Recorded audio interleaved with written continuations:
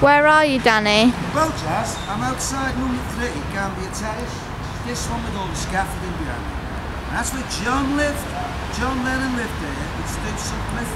Early 60s, 1961, something like that.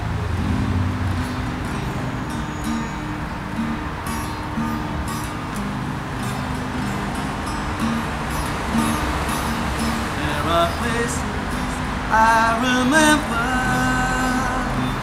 all my life. Though some have changed, some forever now for better. Some have gone, and some remain.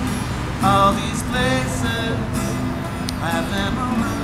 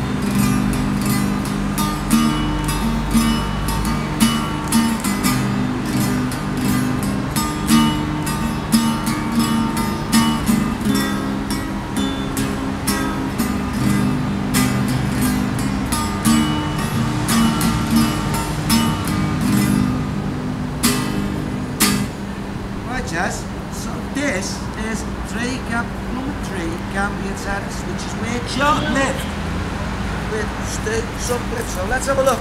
Give us the camera. And what we'll do is we'll show the world the environs.